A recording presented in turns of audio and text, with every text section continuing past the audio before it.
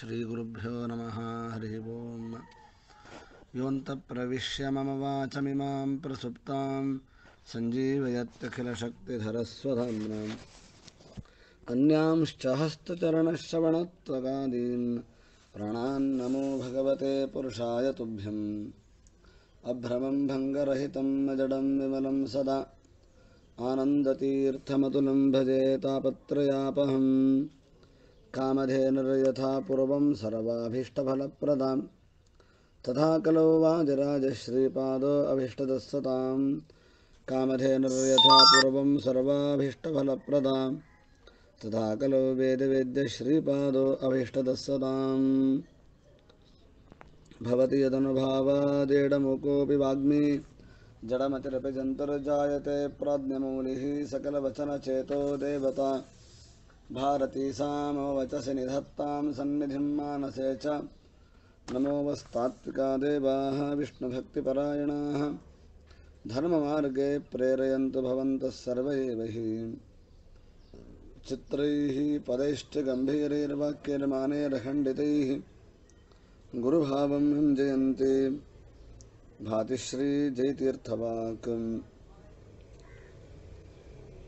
गुरुश्रीराघवेन्द्रार्य त्वामहं शरणं गतः। आयुरारोग्यमैश्वर्यं दत्त्वा त्वं रक्ष रक्ष माम् धरणीमण्डले ख्यातं धैर्यादिगुणब्रह्मितं धिक्कृता धीरसिंहमुनिं भजे। नैवेद्यगविषं रामे वीक्ष्य। तद्भक्तिभाग्गुरुः। यो दर्शयद्रविं रात्रौ सत्यबोधोऽस्तु मे मुदे विश्वेशतीर्थचरणौ शरणं ममास्ताम् कोलव्यासहयग्रीवमधुकञ्जमधुव्रतं श्रीविश्वोत्तमयोगीन्द्रं वन्देऽहं वादिराट्प्रियं श्रीविश्ववल्लभतीर्थगुरुभ्यो नमः हरिः ओम्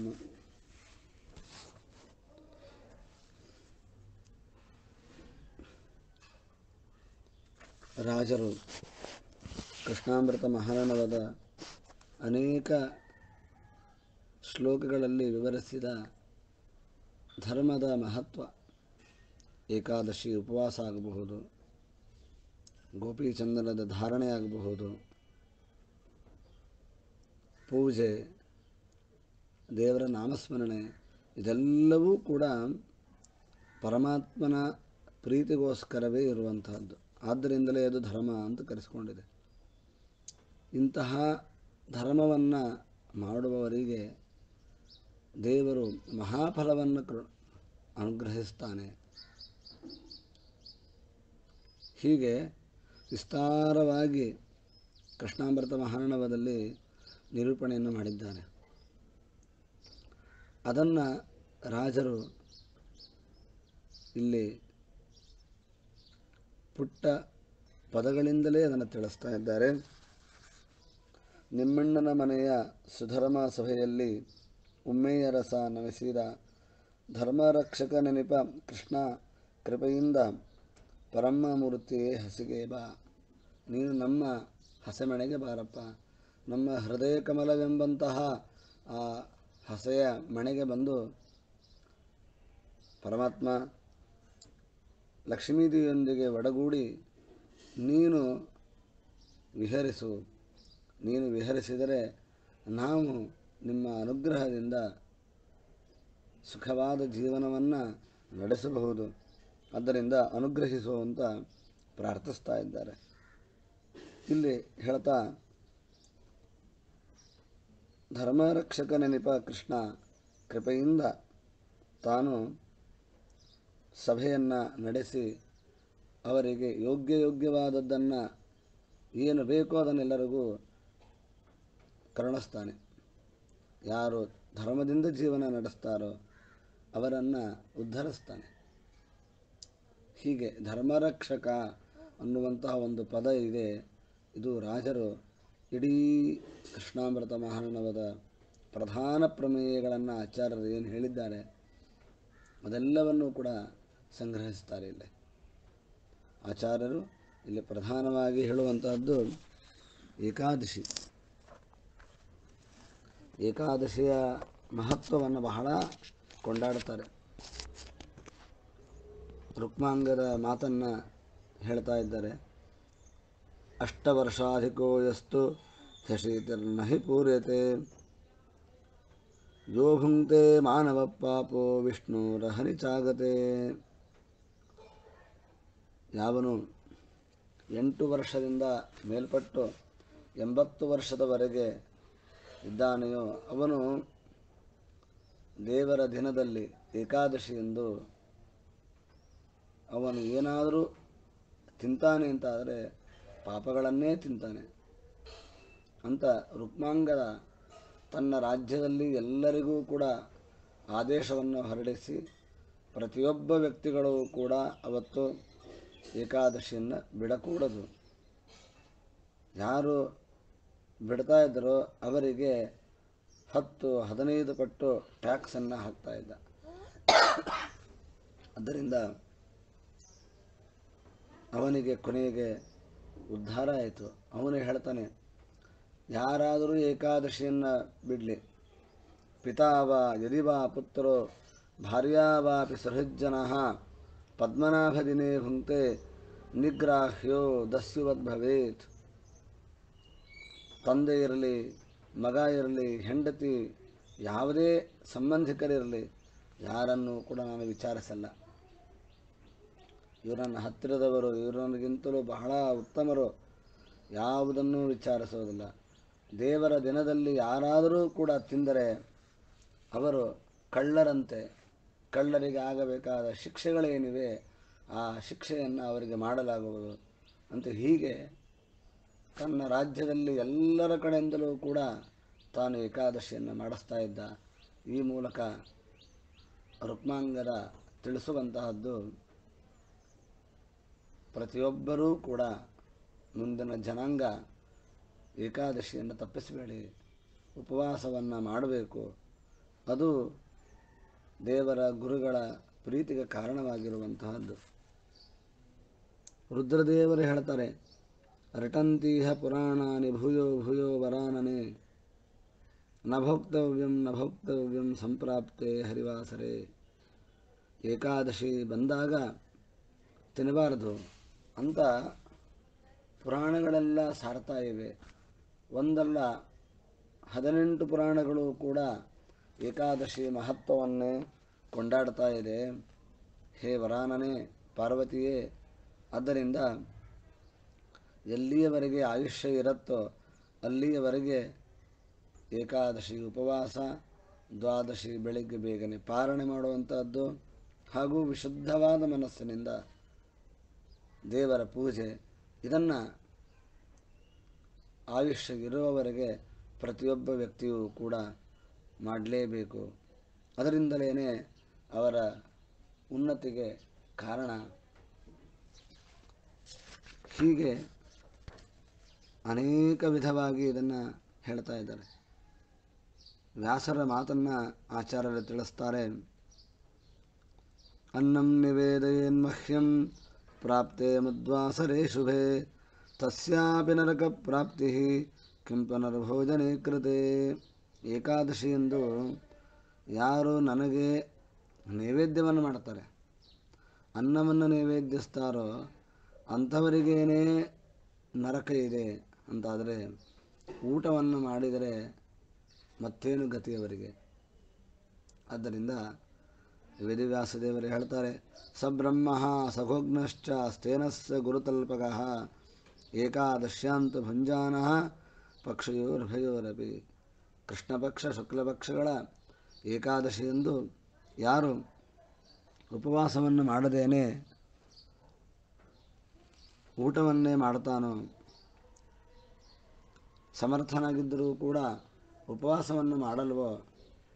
ಅವನು ಬ್ರಹ್ಮ ಬ್ರಹ್ಮಹತ್ಯೆಯನ್ನು ಮಾಡಿದಂತೆ ಹಸು ಹತ್ಯೆಯನ್ನು ಮಾಡಿದಂತೆ, ಕಳ್ಳತನವನ್ನು ಮಾಡಿದ್ದಾನೆ, ಗುರು ಮಂಚವನ್ನು ಏರಿದ್ದಾನೆ.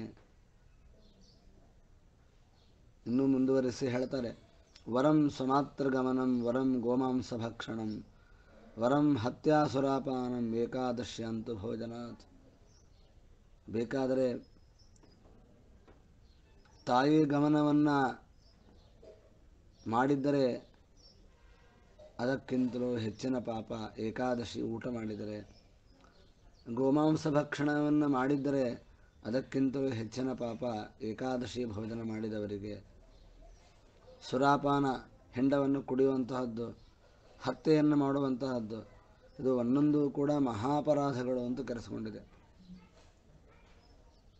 ಅಂತಹ ಆ ಪಾಪಗಳನ್ನು ಮಾಡಿದರೂ ಕೂಡ ಏಕಾದಶಿ ದಿವಸ ನಾವು ಊಟ ಮಾಡೋದಾಗಿದ್ದರೆ ಅವರು ಮಹಾಪಾಪಿಗಳು. ಇದೆಲ್ಲವನ್ನು ಮೀರಿದ ಮಹಾಪಾಪಿಗಳು. ಏಕಾದಶಿ ದಿವಸ ಇಷ್ಟೆಲ್ಲ ಇದ್ದರೂ ಕೂಡ ಯಾವ ಮನುಷ್ಯಾಧಮರು ಏಕಾದಶಿ ಎಂದು ಫಲಾರ ಊಟವನ್ನು ಮಾಡ್ತಾ ಇದ್ದಾರೆ.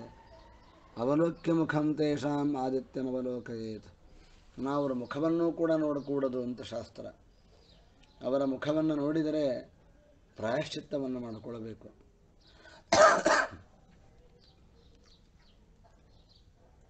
ಏನು ಪ್ರಾಯಶ್ಚಿತ್ತ? ಕನಿಷ್ಠ ಪಕ್ಷ ಸೂರ್ಯನನ್ನಾದರೂ ಕೂಡ ನೋಡಬೇಕು. ಸೂರ್ಯನನ್ನು ನೋಡಿ ಆ ಪಾಪವನ್ನು ಕಳೆದುಕೊಳ್ಳಬೇಕು. ಇಲ್ಲಿ ಒಂದು ಕಥೆ ವಿಷ್ಣು ಪುರಾಣದಲ್ಲಿ ಹೇಳಲಾಗಿದೆ, ಸುಧನ್ವ ಅನ್ನುವಂತಹ ಒಬ್ಬ ರಾಜ, ಈ ರಾಜ ಮಹಾಧಾರ್ಮಿಕ. ಇವನು ತೀರ್ಥಯಾತ್ರೆಯನ್ನು ಮಾಡುತ್ತಾ ಗಂಗಾ ನದಿಗೆ ಬಂದಿದ್ದ. ಆ ಗಂಗಾ ನದಿಯಲ್ಲಿ ಸ್ನಾನವನ್ನು ಮಾಡಿದ ಸಂಕಲ್ಪ ಪರಸ್ಪರವಾಗಿ ತಾನು ತನ್ನ ಪರಿವಾರ ಎಲ್ಲ ಮಾಡಿದೆ. ಅದೇ ಸಮಯಕ್ಕೇನೆ ಏಕಾದಶ್ಯಾದಿಗಳನ್ನು ಉಪವಾಸ ಮಾಡದೇ ಇರುವಂತಹ ವ್ಯಕ್ತಿ ಬಂದ. ಧರ್ಮವನ್ನು ಮಾಡದ ವ್ಯಕ್ತಿ ತಾನು ಬಂದಿದ್ದಾನೆ. ಪಾಷಂಡಿ ಬಂದಿದ್ದಾನೆ.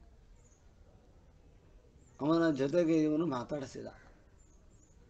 ಕೇವಲ ಮಾತಾಡಿಸಿದ್ದೇ ಹೊರತು ಅವನನ್ನು ಗೌರವಿಸಲಿಲ್ಲ.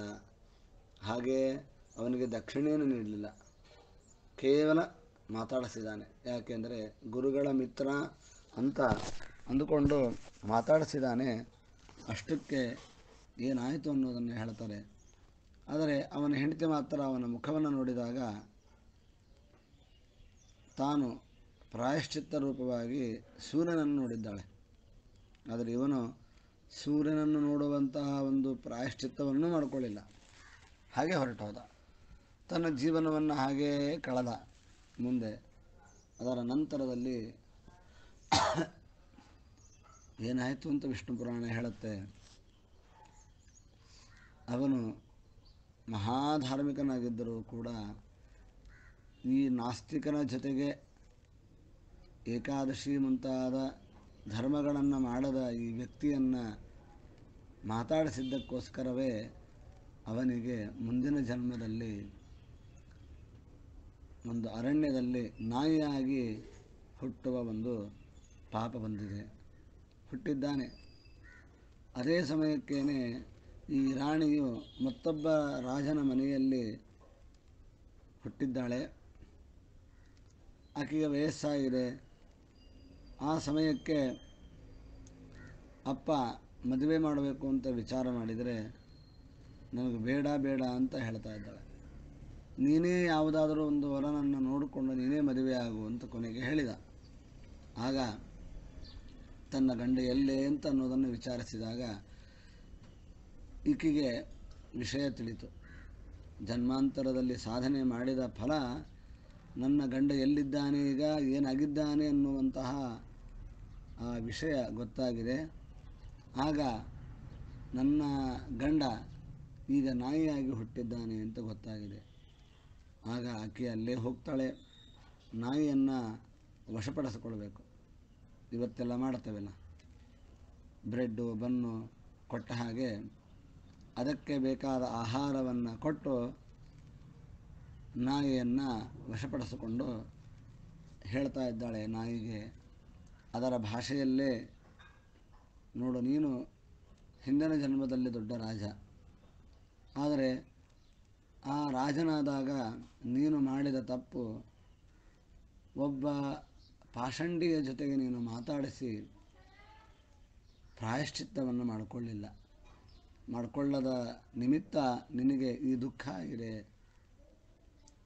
ಅದಕ್ಕೋಸ್ಕರ ನಿನಗೆ ನಾಯಿ ಜನ್ಮ ಬಂದಿದೆ ಅಂತ ಹೇಳಿದಾಗ ಪುನಃ ಆ ಜನ್ಮವನ್ನು ಕಾಲಕ್ರಮೇಣ ಬಿಡ್ತಾನೆ. ವಿಷ್ಣು ಪುರಾಣ ಹೇಳುತ್ತೆ, ಇಲ್ಲಿಗೆ ಆ ಪಾಪ ಸವಿಲಿಲ್ಲ. ಮತ್ತೆ ಮುಂದುವರಿತಾ ಇದೆ. ಅವನು ನರಿಯಾಗಿ ಹುಟ್ಟಿದ. ಆಗಲೂ ಕೂಡ ಈಕೆ ಬಂದು ಹೇಳ್ತಾಳೆ, ಇಲ್ಲ, ನೀನು ಹಿಂದಿನ ಜನ್ಮದಲ್ಲಿ ಆ ಪಾಪವನ್ನು ಮಾಡಿದ್ದಕ್ಕೋಸ್ಕರ ನಿನಗೆ ಇವತ್ತು ಈ ಜನ್ಮ ಬಂದಿದೆ. ಮತ್ತೆ ಆ ಶರೀರವನ್ನು ಬಿಡ್ತಾನೆ ಕಾಲಕ್ರಮೇಣ. ಅಷ್ಟಾಗಿಯೂ ಬಿಡಲಿಲ್ಲ. ಹದ್ದಾಗಿ ಹುಟ್ಟಿದ. ಹಂದಿಯಾಗಿ ಹುಟ್ಟಿದ. ಅನಂತರದಲ್ಲಿ ಕಾಗೆಯಾಗಿ ಹುಟ್ಟಿದ್ದಾನೆ. ಕೊನೆಗೆ ನವಿಲಿನ ಜನ್ಮ ಬಂದಿದೆ. ಹದ್ದಿನ ಜನ್ಮ ಆದ ನಂತರ ಅವನಿಗೆ ನವಿಲಿನ ಜನ್ಮ ಬಂದಿದೆ. ಆ ನವಿಲಿನ ಜನ್ಮ ಬಂದಾಗ ಈಕೆ ಹೇಗೆ ಪರಿಹಾರ, ಈ ಪಾಪದ ಪರಿಹಾರ ಹೇಗಾಗಬೇಕು ಅಂತ ವಿಚಾರ ಮಾಡಿದಾಗ ಸೂಚನೆ ಆಗ್ತದೆ. ಇಲ್ಲೇ ಹತ್ತಿರದಲ್ಲೇ ಜನಕರಾಜ ಸೀತೆಯ ತಂದೆ ಆ ಕಾಲದಲ್ಲಿ ನಡೆದಂತಹದ್ದಿದು. ಅವನು ಯಾಗವನ್ನು ಮಾಡ್ತಾ ಇದ್ದಾನೆ, ರಾಜಸೂಯ ಯಾಗ, ಅಶ್ವಮೇಧಾದಿ ಯಾಗಗಳನ್ನು ಮಾಡಿದ್ದಾನೆ ಅವಹೃತ ಸ್ನಾನ ನಡೀತಾ ಇದೆ. ಅಲ್ಲೇ ಈ ನವಿಲನ್ನು ಕರೆದುಕೊಂಡು ಹೋಗು, ಅಲ್ಲಿ ಸ್ನಾನ ಮಾಡಿಸು, ಅದರಿಂದ ಉದ್ಧಾರ ಆಗ್ತದೆ. ಈ ಪಾಪದಿಂದ ಮೋಚನೆಗೊಳ್ಳುತ್ತೆ ಇದು ಅಂತ ಹೀಗೆ ಸೂಚನೆ ಸಿಕ್ಕಾಗ ಈ ಮಾತನ್ನು ವಿಶ್ವಾಸದಲ್ಲಿ ಇಟ್ಟು ಬರ್ತಾಳೆ. ಆಗ ಜನಕರಾಜ ತಾನು ಸ್ನಾನ ಮಾಡ್ತಾ ಇರಬೇಕಾದರೆ ಆ ಸ್ನಾನದ ಹನಿಬಿಂದುಗಳು ಈ ನವಿಲಿಗೆ ಸಿಡಿದರೆ ಅಲ್ಲಿಗೇನೆ ಇದರ ಪಾಪಗಳೆಲ್ಲವೂ ಕೂಡ ಪರಿಹಾರ ಆಗಿದೆ. ಆ ಪಾಖಂಡಿಯ ಜೊತೆಗೆ ಮಾತನಾಡಿದ ಏನು ಪಾಪ ಇದೆ, ಆ ಎಲ್ಲ ಪಾಪಗಳು ಕೂಡ ನಾಶವಾಗಿದೆ. ಅದರಿಂದ ಇದು ಮತ್ತಷ್ಟು ಕೂಡ ಶುದ್ಧವಾಗಿದೆ. ಮುಂದಿನ ಜನ್ಮ ಮತ್ತೆ ರಾಜನ ಜನ್ಮ ಬಂತು. ಅಲ್ಲೇ ಈ ರಾಣಿಯನ್ನು ವರಿಸಿ ತಾನು ಮತ್ತೆ ಆ ಹಿಂದಿನ ತಪ್ಪನ್ನು ಮಾಡದೇನೆ ತಾನು ಉನ್ನತಿಯನ್ನು ಪಡೆದ. ಈ ಕಥೆಯಿಂದ ವಿಷ್ಣು ಪುರಾಣ ತಿಳಿಸ್ತಾ ಇದೆ. ಯಾರು ತಪ್ಪು ಮಾಡಿದವರಿದ್ದಾರೆ, ಏಕಾದಶ್ಯಾದಿಗಳನ್ನು ಯಾರು ಮಾಡದಿದ್ದಾರೋ ಅಂಥವರನ್ನು ನೋಡಿದರೂ ಕೂಡ ನಾವು ಮಾಡುತ್ತಿರಬಹುದು ಏಕಾದಶಿ ಉಪವಾಸವನ್ನು, ಧರ್ಮವನ್ನು ನಾವು ಮಾಡ್ತಾ ಇದ್ದೇವೆ. ಆದರೆ ಯಾರು ಮಾಡ್ತಾ ಇಲ್ವೋ ಅವರಿಗೆ ಪ್ರೋತ್ಸಾಹವನ್ನು ಕೊಡ್ತೇವೆ.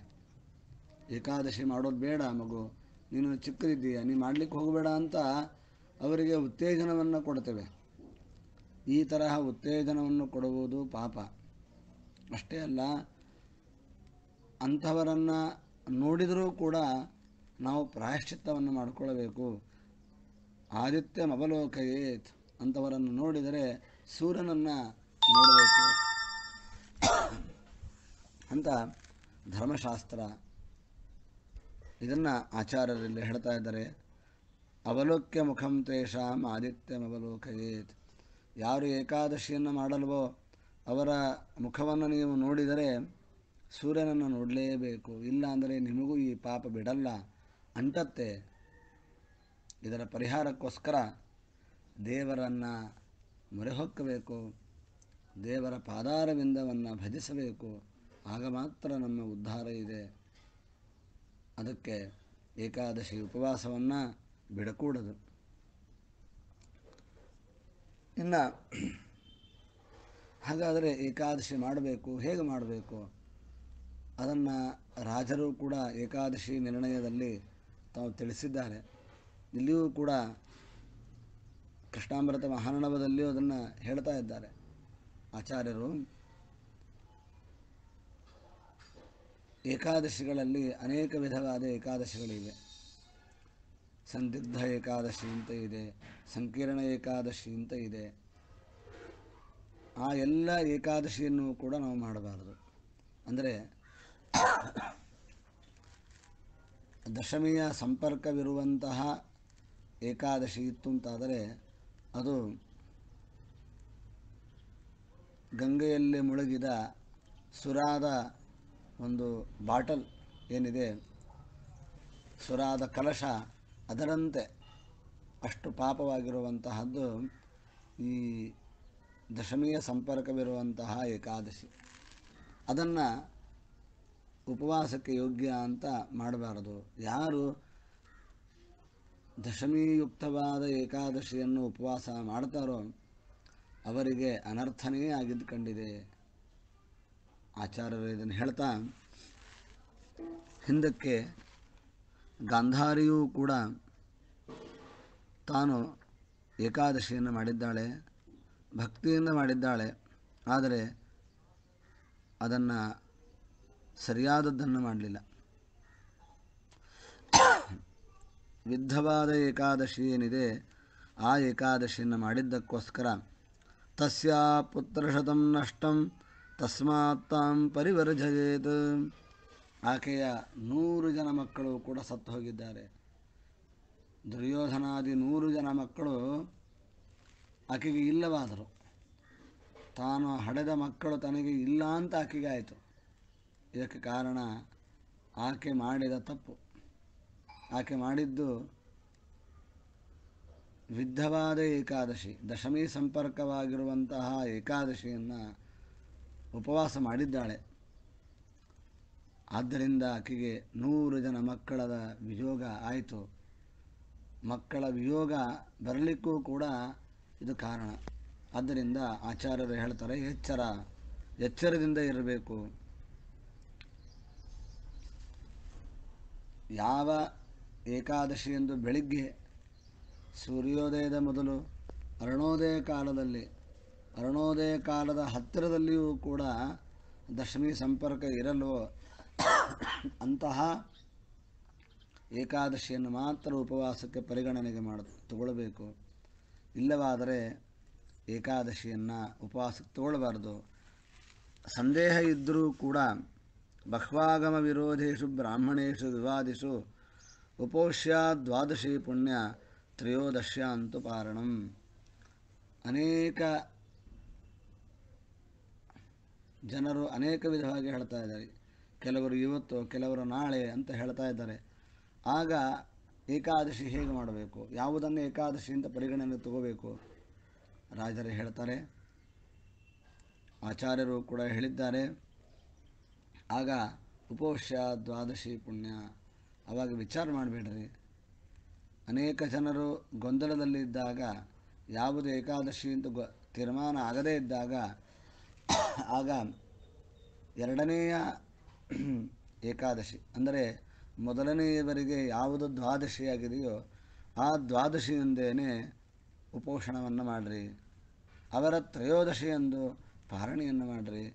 ಇದು ಅತ್ಯಂತ ಶ್ರೇಷ್ಠವಾಗಿರುವಂತಹದ್ದು. ಹೀಗೆ ಏಕಾದಶಿ ದಶಮಿ ವಿದ್ಧವಾಗಿದ್ದರೆ ಆ ಉಪವಾಸವನ್ನು ಮಾಡಕೂಡದು. ಶುದ್ಧವಾದ ಏಕಾದಶಿ ಉಪವಾಸವನ್ನು ಮಾಡಬೇಕು. ಇನ್ನು ಶ್ರವಣ ನಕ್ಷತ್ರ ಬಂದಾಗಲೂ ಕೂಡ ಉಪವಾಸವನ್ನು ಮಾಡಬೇಕು. ಅತಿರಿಕ್ತವಾದ ಏಕಾದಶಿ ಎಂದು ಕೂಡ ಉಪವಾಸವನ್ನು ಮಾಡಬೇಕು. ಇದರ ಜೊತೆಗೆ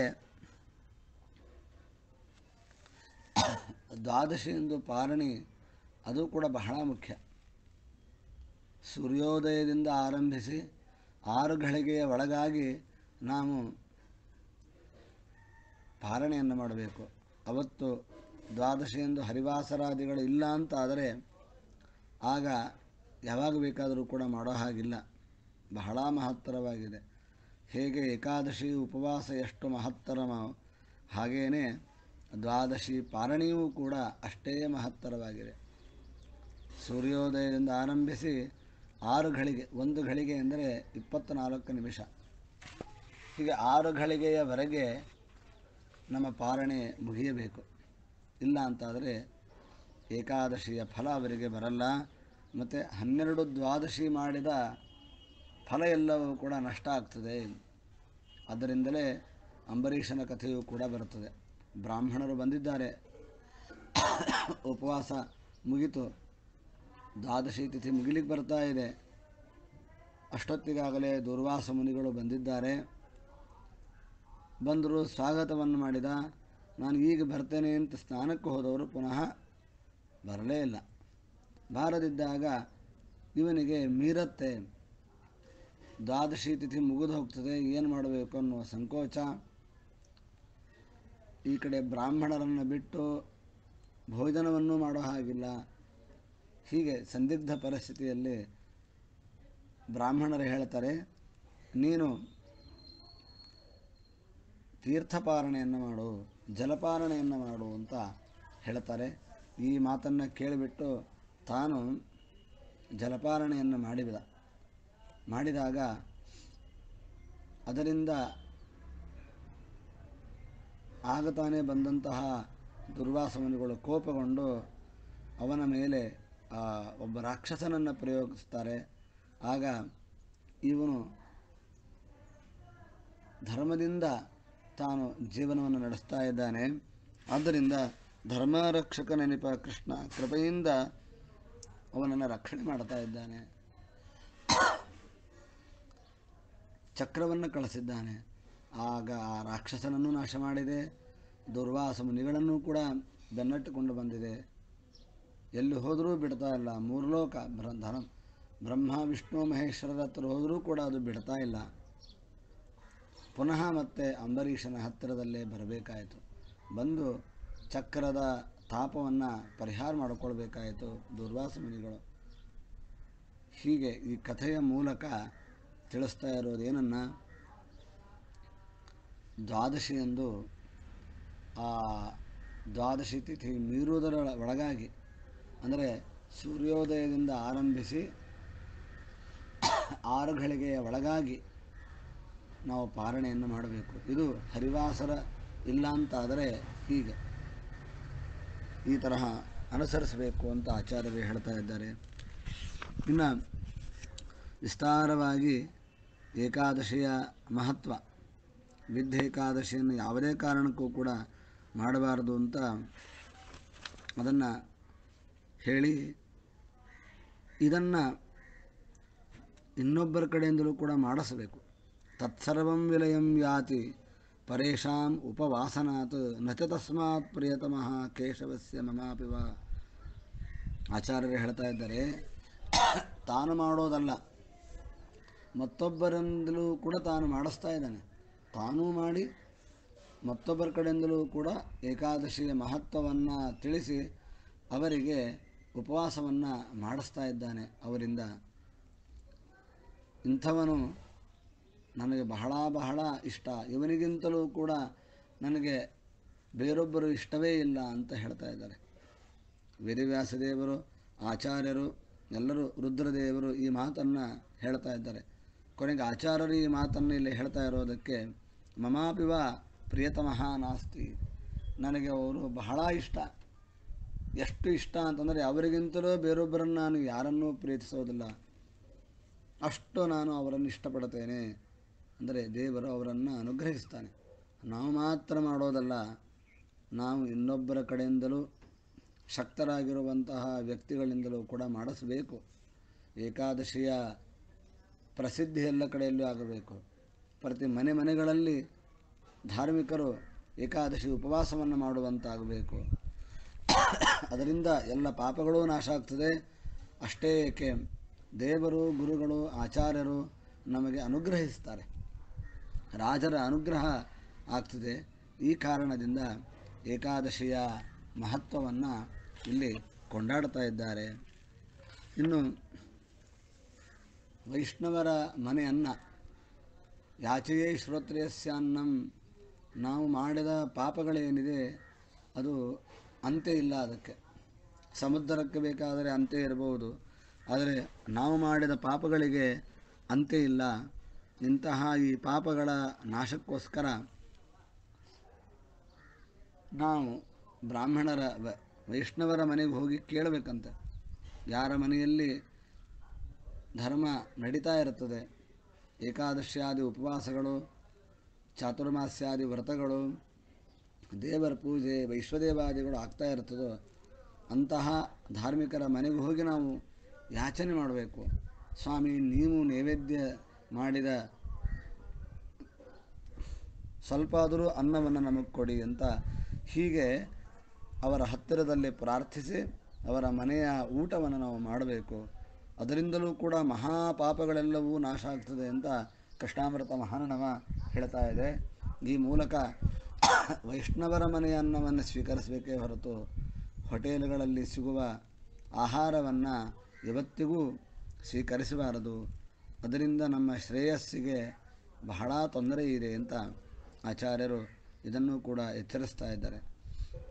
ಶಾಲಿಗ್ರಾಮಗಳ ಶಿಲಾಸ್ಪರ್ಶವನ್ನು ಪ್ರತಿ ದಿವಸದಲ್ಲಿ ಮಾಡ್ತಾ ಇದ್ದವನನ್ನು ಇಂದ್ರಾದಿ ದೇವತೆಗಳೆಲ್ಲರೂ ಕೂಡ ಅವನನ್ನು ಮುಟ್ಟಬೇಕು, ಅವನ ಕೈಗೆ ನಾವು ಮುಟ್ಟಿ ಅವನನ್ನು ಉದ್ಧರಿಸಬೇಕು ಅಂತ ಅವರು ಅಪೇಕ್ಷೆ ಪಡ್ತಾರಂತೆ. ಅಂತಹದ್ದು ಶ್ರಾದ್ದ ಕಾಲದಲ್ಲಿ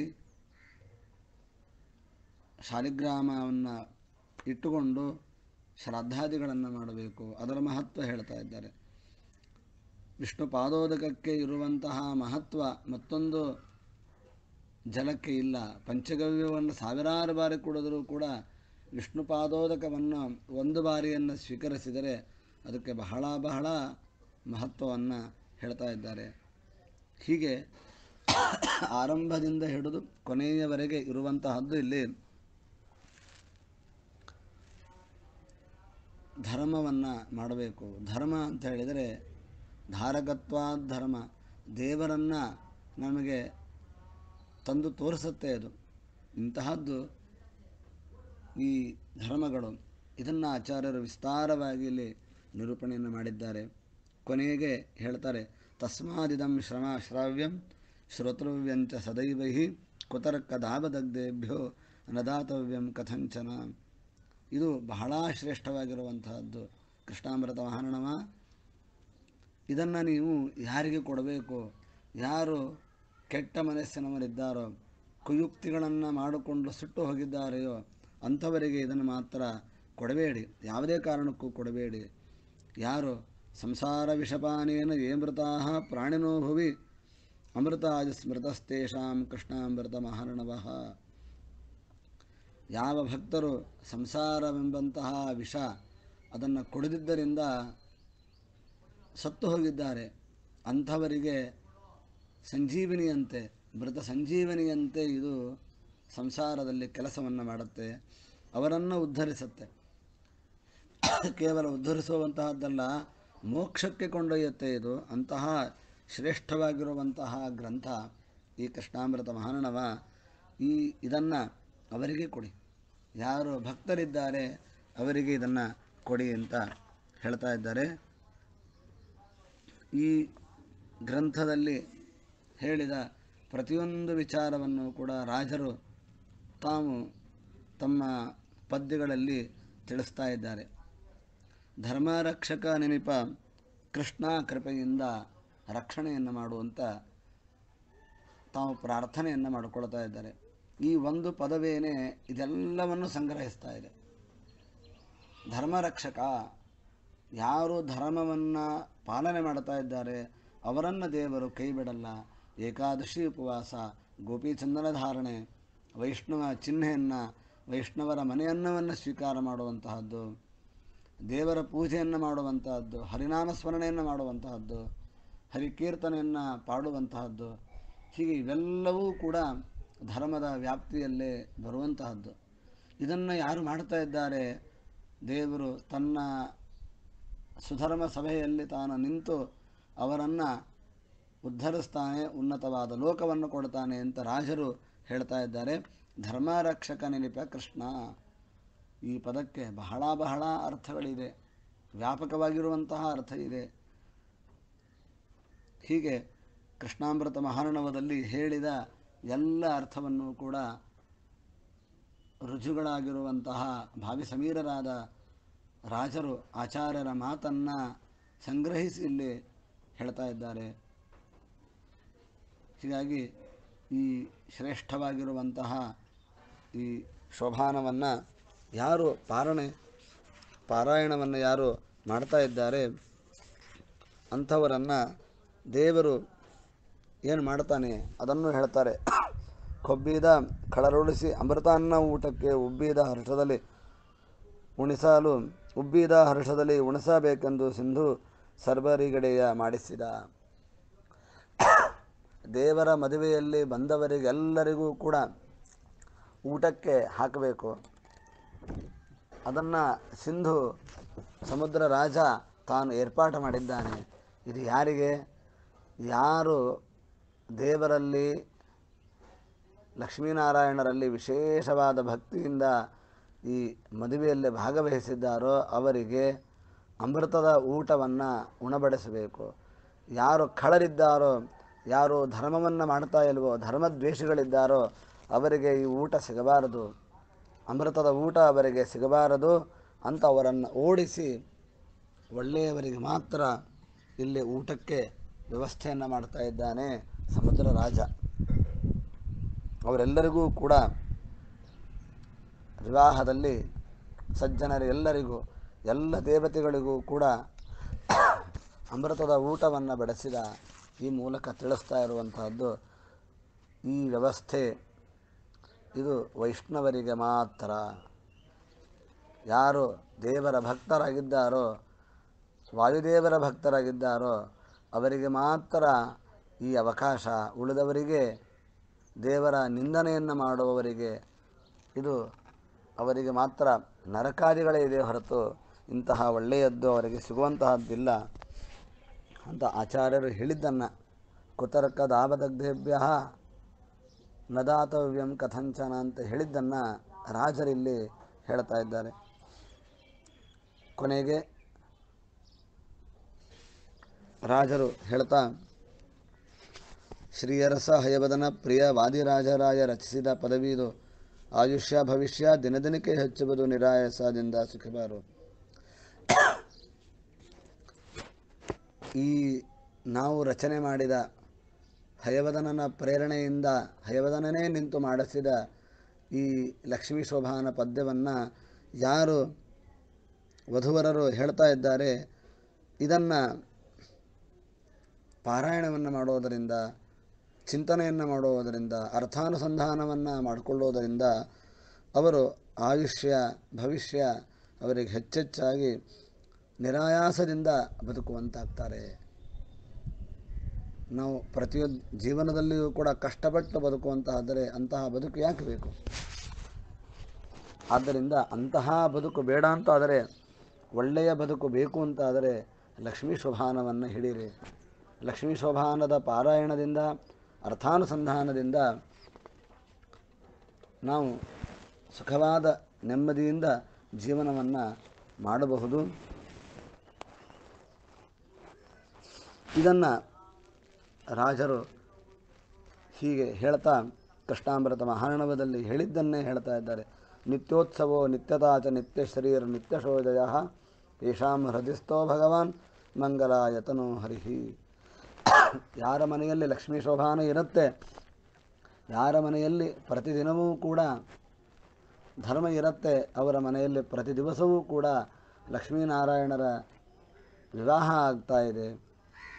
ಆ ವಿವಾಹದಿಂದ ಅವರ ಮನೆಯಲ್ಲಿ ನಿತ್ಯದಲ್ಲಿ ಉತ್ಸವ, ನಿತ್ಯ ಸಂಪತ್ತು, ನಿತ್ಯ ಜಯ, ಹೀಗೆ ಯಶಾಂ ಹೃದಿಸ್ತೋ ಭಗವಾನ್, ಷಡ್ಗುಣೇಶ್ವರ ಸಂಪನ್ನನಾದ ಲಕ್ಷ್ಮೀನಾರಾಯಣ ಯಾರ ಮನೆಯಲ್ಲಿ ಕುಡಿತಾ ಇದ್ದಾನೆ ಯಾರ ಮನೆಯಲ್ಲಿ ಲಕ್ಷ್ಮೀ ಶೋಭಾನ ನೃತ್ಯವಾಡ್ತಾ ಇದೆ, ಅಂಥವರ ಮನೆಯಲ್ಲಿ ಹೀಗೆ ಎಲ್ಲ ಮಂಗಳವೂ ಕೂಡ ಇದೆ ಅಂತ ಕೃಷ್ಣಾಮೃತ ಮಹಾನಣವ ಹೇಳ್ತಾ ಇದೆ. ಅದನ್ನು ರಾಜರು ತಾವು ಹೇಳ್ತಾ ಇದ್ದಾರೆ. ಇಂತಹ ಈ ಲಕ್ಷ್ಮೀ ಶೋಭಾನದ ಪಾರಾಯಣ ಎಲ್ಲರೂ ಕೂಡ ವಿಶೇಷವಾಗಿ ಮಾಡುವಂತಾಗಲಿ. ಈ ವ್ಯವಸ್ಥೆಯನ್ನು ಮಾಡಿದವರಿಗೂ ಕೂಡ ಯೋಗ್ಯವಾದ ಫಲವನ್ನು ದೇವರ ಕರುಣಿಸಲಿ ಅಂತ ಹೇಳ್ತಾ ಸೋದೆ ಸ್ವಾಮಿಗಳು ಏನು ಈ ವ್ಯವಸ್ಥೆಯನ್ನು ಮಾಡಿದ್ದಾರೆ. ಇದರಿಂದ ಎಲ್ಲರಿಗೂ ಶ್ರೇಯಸ್ಸಾಗಲಿ ಅಂತ ಹೇಳ್ತಾ ಈ ಒಂದು ವಾರದ ಸಪ್ತಾಹ ಯಜ್ಞ ಗುರುಗಳ ಅಂತರ್ಯಾಮಿಯಾದ ಆ ಭಾವಿ ಸಮೀರ ಮಧ್ವಾಂತರ್ಗತ ಗೋಪಾಲಕೃಷ್ಣನಿಗೆ ಅರ್ಪಣಾಗಲಿ. ಶ್ರೀಕೃಷ್ಣಾರ್ಪಣಮಸ್ತು. ಶ್ರೀಮಧ್ವೇಶಾರ್ಪಣಮಸ್ತು